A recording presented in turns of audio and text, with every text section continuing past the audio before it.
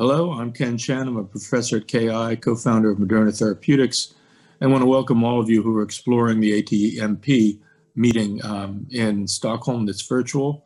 We'll feature uh, a number of key speakers in the mRNA arena, Bob Langer, who's co-founder of Moderna, and also an expert in mRNA delivery, Andreas Kuhn, who will talk about regulatory pathways for approval of mRNAs, and also a very exciting presentation from a senior leader at AstraZeneca, who will discuss the first time in human mRNA therapeutic, VEGF mRNA, that just finished the trial for heart patients.